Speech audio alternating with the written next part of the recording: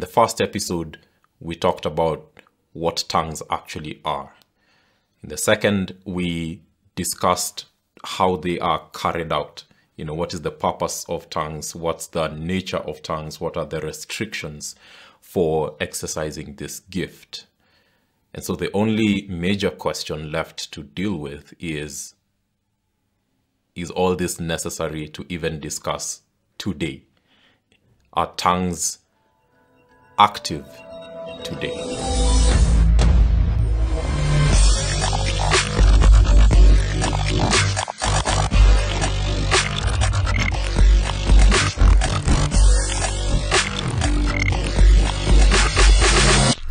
What's up, God's people? We've come to the third and hopefully final installment of the discussion on tongues. And, you know, throughout this series, you know, it's just been ringing in my mind that at the center of it all, First Corinthians 11, 12, 13, 14. So 12, 13, 14. In 13, it's the love chapter. And at the heart of it, you know, Paul says that love does not rejoice at wrongdoing, but rejoices with the truth.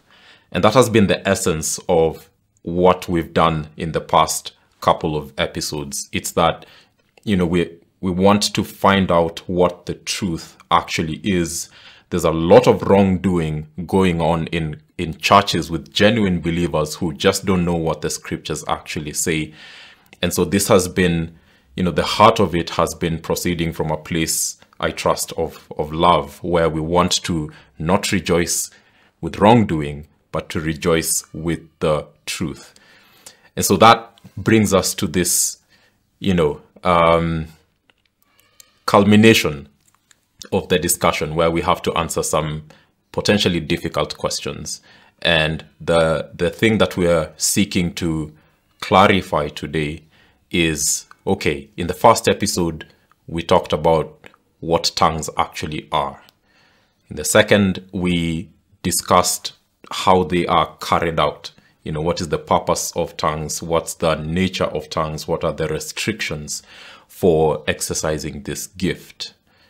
And so the only major question left to deal with is, is all this necessary to even discuss today? Are tongues active today? are these gifts in operation today. And for those of you who've had some exposure to this subject, you may know the two camps that are there uh, amongst Christians. You have cessationists and you have continuationists or variations of those. So, so what then is the answer to this question? Is it actually active? Is the gift of tongues active today? Should we expect it today? Should we desire it today? Should we pray for it today? Now, as I'm answering this, you'll begin to get a sense of the direction that I am leaning. But let me, let me just take you back to the purpose of tongues, because I think this is where we have to begin. We discussed this at length in the previous episode, and if you haven't watched it, I, I think it's actually really helpful to watch it first. But in that episode, we saw that the purpose of tongues, according to what Paul says in chapter 12 and chapter 14, is that first of all, 1 Corinthians 12 and verse 7 to each is given not just the Spirit, but the manifestation of the Spirit for the common good. Okay, so so the Spirit is given not just in His person, not just in His presence, but in His manifestation particularly. And so to each is given the manifestation of the Spirit for the common good. And so we asked ourselves, what is this common good? And he outlines it in chapter 14 and verse 12. So with yourselves, he says, since you are eager for the manifestations again of the Spirit, strive to excel in building up the church. So this is the purpose. This is the purpose of the gift of tongues, of the gifts of prophecy, is that they are given for the common good, and that common good is the building up of the church. So this is really important because many times when these gifts are discussed, their purpose is limited to the second purpose that the Bible provides. Um, so when you look at Hebrews, for example, Hebrews chapter 2 and verse 4. I'll read from verse 3 and 4. Verse 3 How shall we escape if we neglect such a great salvation? It was declared at first by the Lord, and it was attested to us by those who heard. So, this is the gospel coming forth. It was attested to us by those who heard, while God also bore witness by signs and wonders and various miracles and by gifts of the Holy Spirit distributed according to his will. So you see, in 1 Corinthians chapter 12 and 14, the purpose of the gifts is to build up the church. But Hebrews also mentions the fact that these gifts of the Holy Spirit were to attest the message of the gospel coming into the world. So, so, so you have these two purposes of the gifts of the Holy Spirit is that they build up the church, but they are also, they can act as signs. Now, Paul actually mentions in chapter 14 an interesting aspect of this of this these gifts being a sign and he he references particularly tongues and prophecies. So so paul says in in chapter 14 and verse 20 I'll read from verse 22. Thus tongues are a, are a sign not for believers but for unbelievers, while prophecy is a sign not for unbelievers but for believers. So even in this context, other than the purpose of building up the church, there's also the dual purpose of it acting as a sign for unbelievers and for believers. Now, if you watched the previous episode, you heard me say that tongues must be interpreted. And when tongues are interpreted, then they are equal to prophecy. Where is this coming from?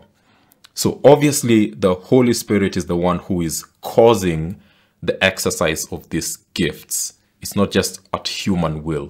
It's he who is causing the prophet to prophesy and causing the one who has the gift of speaking in other tongues to speak in a tongue. So obviously the Spirit is the one who's making this happen. And that in itself means that whatever is being spoken in a tongue, it's something that the Holy Spirit wants the local church to know. And when it's interpreted, it's equal to prophecy in that sense, in that it builds up the church. We understand what the Spirit is saying, what the Spirit is proclaiming.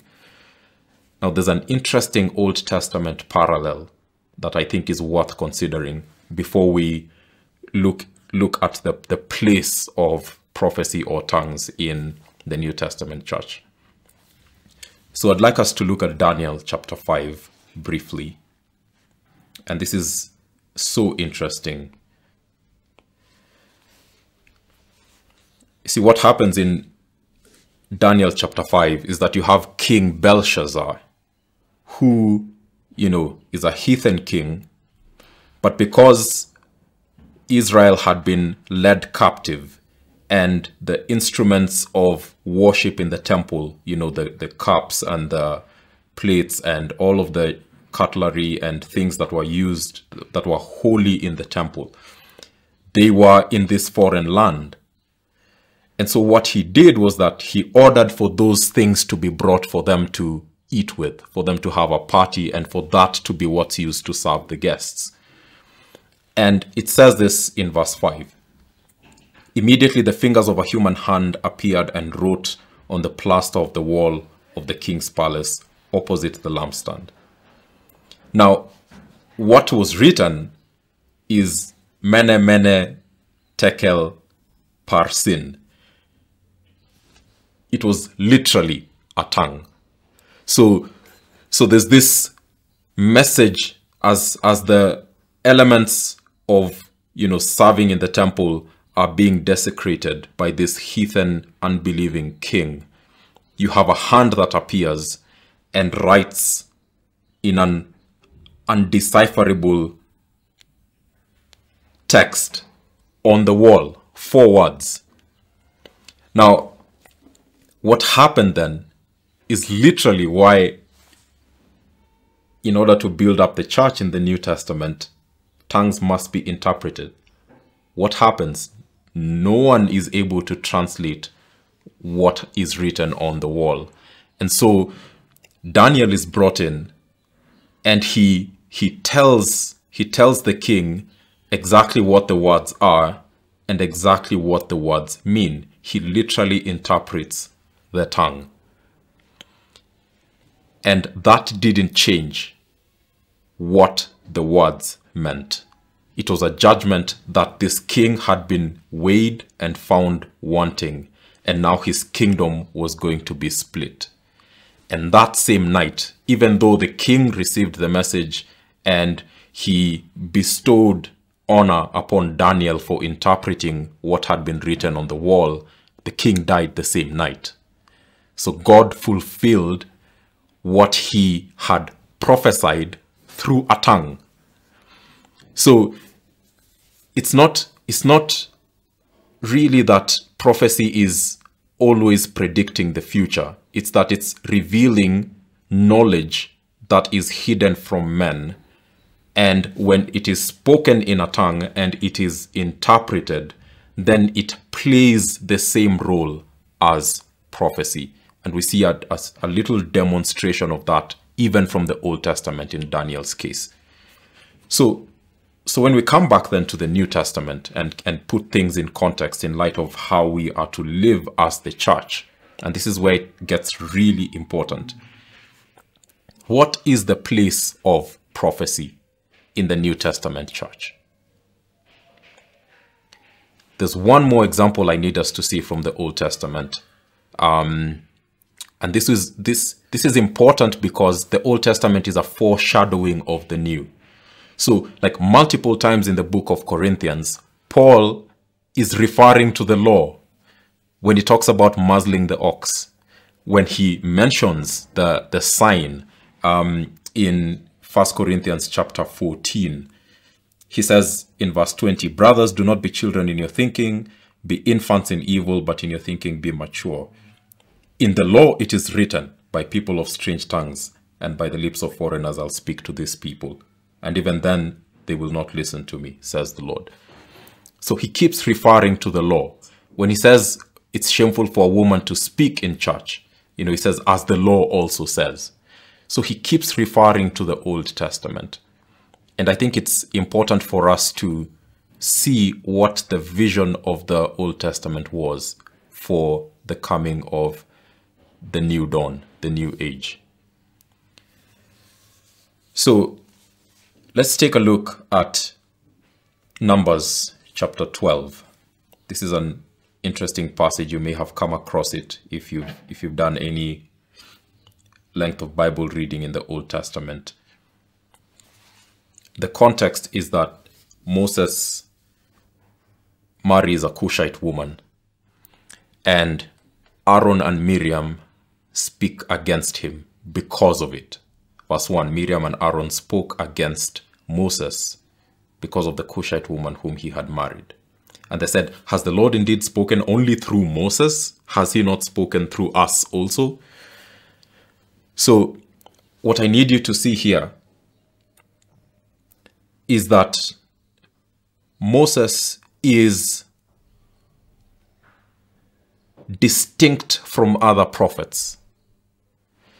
So when God confronts Aaron and Miriam, he says this in verse 6. And he said, Hear my words. If there's a prophet among you, I, the Lord, make myself known to him in a vision. I speak with him in a dream.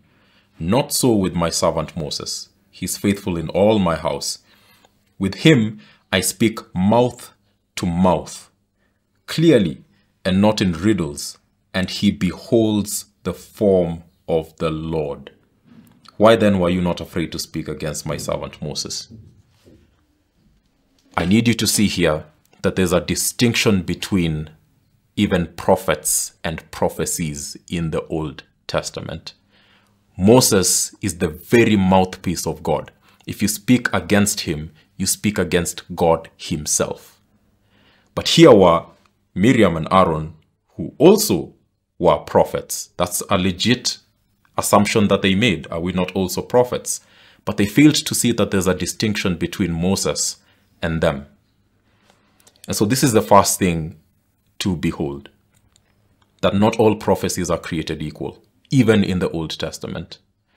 Now, secondly, let's look at a chapter before that, just in Numbers 11. God says something that actually is parallel to what happens at Pentecost in Numbers 11 from verse 16. Then the Lord said to Moses, Gather for me seventy men of the elders of Israel, whom you know to be the elders of the people and officers over them, and bring them to the tent of meeting. Let them take their stand there with you. And then he says this, And I'll come down and talk with you there, and I will take some of the spirit that is on you and put it on them. And this is where it paints again the picture of what's happening in the New Testament. And they shall bear the burden of the people with you, so that you may not bear it yourself alone. Galatians chapter 6. Bear ye, bear one another's burdens, and so fulfill the law of Christ you have this picture in Acts where there were divided tongues. It came from one flame and then it was divided amongst the people that were in the upper room. It's, it's literally copy paste from what happened with Moses and the 70 elders. God said, I'll take some of the spirit that is on you. It's one spirit and I'll put it on them. But the point I want to make is this there were 70 elders. They were to come together. But a couple of guys, Eldad and Medad, remained in the camp. And what happened was that when the Lord came unto them, it says in verse 25, Then the Lord came down in the cloud and spoke to him, and took some of the spirit that was on him, and put it on the 70 elders. And as soon as the spirit rested on them, they prophesied, but they did not continue doing it. So the cessationists might be like, voila, they, they prophesied, but they didn't continue doing it. Now what, this is a contrast to what happened in the camp. The people that were with Moses, they prophesied and stopped. Then it says in verse 26, Now two men remained in the camp, one named Eldad and the other named Medad. And the Spirit rested on them, they were among those registered, but they had not gone out to the tent. So they prophesied in the camp. And a young man ran and told Moses, Eldad and Medad are prophesying, continuous tense, are prophesying in the camp. And this is the point I'm driving towards. Joshua, son of Nun, said to Moses, My Lord Moses, stop them. But Moses said to him, Are you jealous for my sake? Would that all the Lord's people were prophets, that the Lord would put his spirit on them. This is the heart of the Old Testament. This is the heart of, you know, a man who, who has carried the people of Israel on his shoulders as a burden. He has pleaded with God for their sake and now he, he receives 70 to help him bear this burden. And, you know, one who is jealous for him, Joshua, his successor, is like, you are the mouthpiece of God. Don't, don't let anyone do this. Why are they prophesying? And, and you just see the heart of Moses and the heart of God He's like, would that all the Lord's people were prophets, that the Lord would put his spirit on them. So this is the foreshadowing. Even in the Old Testament, the, the, the cry of Moses was that let everyone prophesy. And this is parallel to the way that Paul speaks when he talks about, you know, you can all prophesy one by one, but let everything be done in a decent and orderly manner. That is the heart of the Old Testament. That is the essence of the New Testament. So having said that,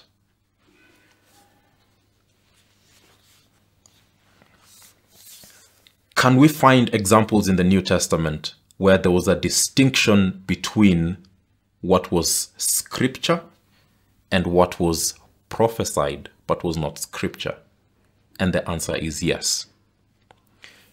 And this is a key thing. Like if if you are to remember one thing from this video, please note this.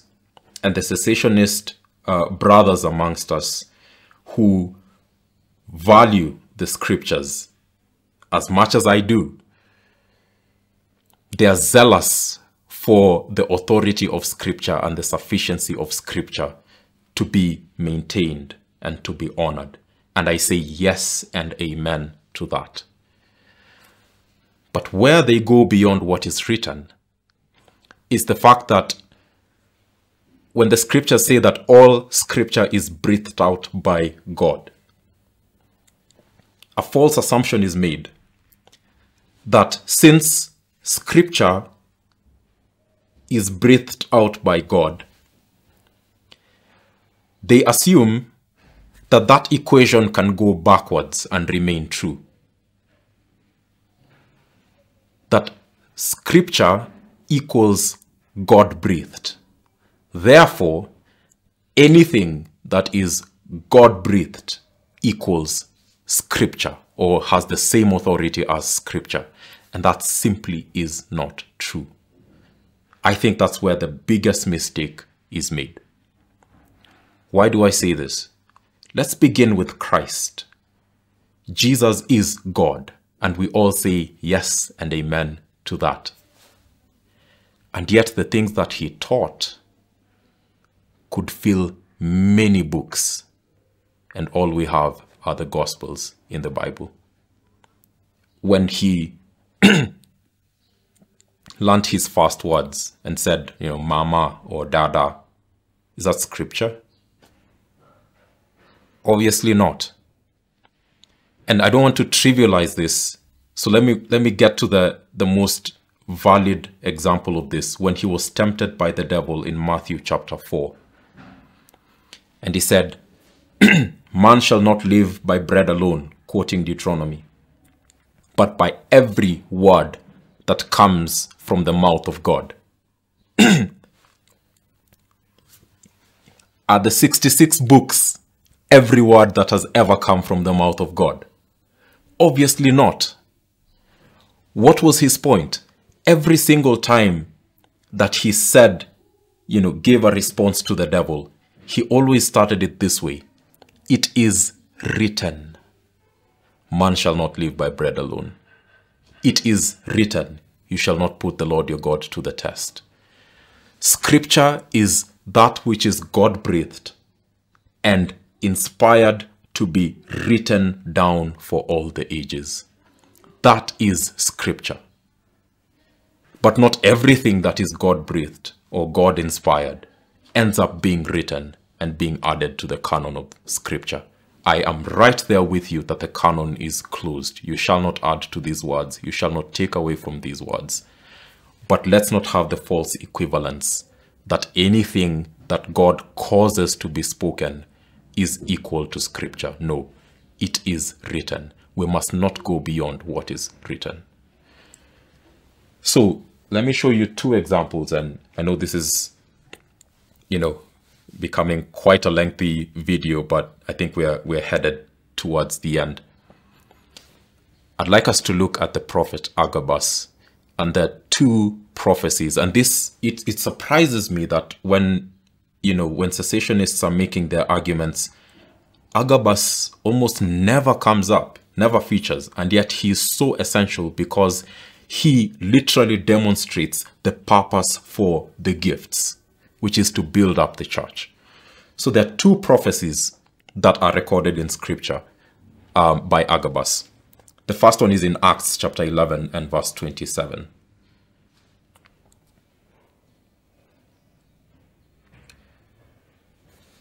So it says from verse 27 Now in these days, prophets came down from Jerusalem to Antioch. And one of them, named Agabus, stood up and foretold by the Spirit that there would be a great famine over all the world. This took place in the days of Claudius. So you can actually verify it with, you know, uh, extra biblical sources.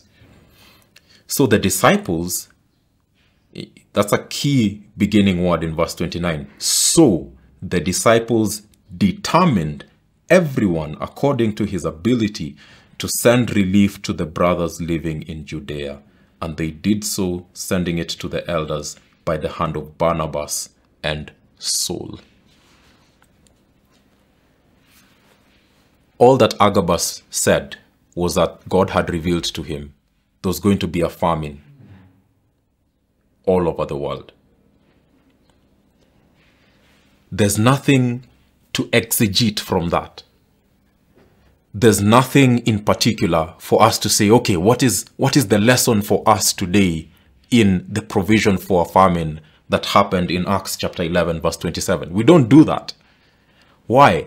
Because the purpose of the gifts is for the common good. It's for the building up, not just of the general church, but of the local church. And so this prophecy that he gave built up the church because it strengthened their resolve to stand with fellow brothers who are in Judea. And so if this prophecy had not been there, what scripture would you have gone to to get this effect? what, well, yes, scripture is sufficient, but what Old Testament passage would you go to to tell this particular church that a famine is coming and they need to give according to their ability, you know, for this foreshadowed event that was coming upon them and to stand with the brothers. This is the essence of spiritual gifts. This is why there's a place for them in the New Testament church. It enables believers to build one another up in extraordinary ways, and it's available to us. We've just shut our eyes to it. This prophecy was a simple prophecy, but it was profound in its effect. Let's look at the other one, which is in a few more chapters later, chapter 21 and verse 8. And here you'll see how interesting the reaction, the reaction to the prophecy mm. actually is. Acts 21 verse 8. On the next day, we departed and came to Caesarea, and we entered the house of Philip the evangelist, who was one of the seven, and stayed with him he had four unmarried daughters who prophesied. So there's a group of believers, apostles, and Paul is among them, and they go to the house of Philip. He had four unmarried daughters who prophesied. Now, verse 10 actually kills two birds with one stone because you have Paul living in a house with four prophets in it. But women are not allowed to have authority over men. And so even though there were four prophets, four daughters who prophesied, it says in verse 10, while we were staying for many days, a prophet named Agabus came down from Judea. And coming to us, he took Paul's belt and bound his own feet and hands and said, Thus says the Holy Spirit, this is how the Jews at Jerusalem will bind the man who owns this belt and deliver him into the hands of the Gentiles. There's the prophecy. There's no exegesis to be done here.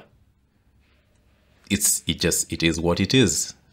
It's information that is otherwise inaccessible to the people who are in Philip's house. And the Holy Spirit reveals it. Now, what is the effect? When we heard this, we and the people there urged him not to go up to Jerusalem. But Paul goes against that inclination. He says, Then Paul answered, What are you doing, weeping and breaking my heart? For I am ready not only to be imprisoned, but even to die in Jerusalem for the name of the Lord Jesus. And since he would not be persuaded, we ceased and said, Let the will of the Lord be done. Just, I have to take a swipe, man. The, the, the only seizing that happens, it's not, it's not the seizing of the gifts, it's submitting to God's revealed will. You know, God, God had revealed to Paul when he was called that he, you know, I'll show him how much he must suffer for my sake. And so when this ultimate opportunity for suffering came and was confirmed by the prophet Agabus, then even those who thought that the reason that message was given was to keep him safe, they ceased from urging him to not go. And so you can actually see how the church is built up because then they are prepared for what's coming and they send him along in the will of the Lord that it may be done. This is the place of prophecy and tongues in the New Testament. It builds up the church. Now, let me close with this. You know, you say to me, Huston, those are nice examples, but are there explicit commands to do this? Are we told to do this? And the truth is, the plain reading of the text tells us to honestly desire the higher gifts. And often, love has been portrayed in contrast with the gifts, as if, okay, you have prophecies and tongues and everything, and, and love never ends. Therefore, it's as if if you have love, then you don't need any of the gifts that he's talking about. But that's not his point at all. The point that he's making is that you are to honestly desire those gifts, you know, because love is not a gift in this context. Love is a fruit of the Spirit. And so is self-control, by the way, which is why you should shut your mouth if you're, you know, you, you have the gift of tongues, but there's no one to interpret. Self-control is also a gift of the Spirit. But love is, is a, sorry, is a fruit of the Spirit. So love is a fruit of the Spirit. What Paul is saying, he's not pitting love against the gifts. What he's doing is he's saying love is the means through which all the gifts find their ultimate fulfillment. Love does no wrong to a neighbor, therefore love is the fulfillment of the law. If you're building one another up, and you're doing these things through love, then you have the ultimate um, outcome that God intends for the church. So I think we most likely will do a Q&A. I know this raises a lot of questions. I know, and I, I particularly did not address um, some key texts that cessationists go to. It's not the scope of this video, Mine is just to show you that from First Corinthians and from glimpses from the Old Testament, I find no reason in Scripture to believe that the gifts have ceased. So I'll allow the questions to come in, then hopefully we will we will answer them in in one Q&A video. I think one one question I'm keen to answer is okay, so if if these gifts are operational today, why are they so scanty in church history and even in present day in terms of the if, if speaking in tongues is actually speaking a, a human language you've never learned. How come we don't see this? How come so many prophets are like 99% false prophets? And i think i'd love to answer that from the scriptures. I think the scriptures have much to say about this. But thanks so much for you know staying through the the entire series if you've if you've been through it I I pray that the questions as they come in will be gracious, um, be gentle with me. I I will seek to be gentle in the way that I answer, And um, I just pray that the church would see how much of the Spirit we do not have access to because we have become faithless with regards to the gift. Faith comes by hearing, hearing by the word of God. We have so much more scripture than the Corinthian church had, and yet we have much less manifestations of the Spirit. And that, that grieves me. And I think the church is hurting because of it. So till next time, grace and peace.